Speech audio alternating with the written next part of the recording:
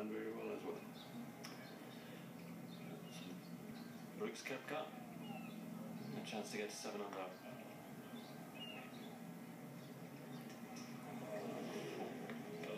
Really come into the pro ranks with any pedigree and do anything great note in the amateur game. But he's got tremendous confidence, quiet confidence, and I think he may have a very, very bright future. All sorts of routes to the top of the game. You don't have to play Walker Cups and Palmer Cups and win all the amateur titles.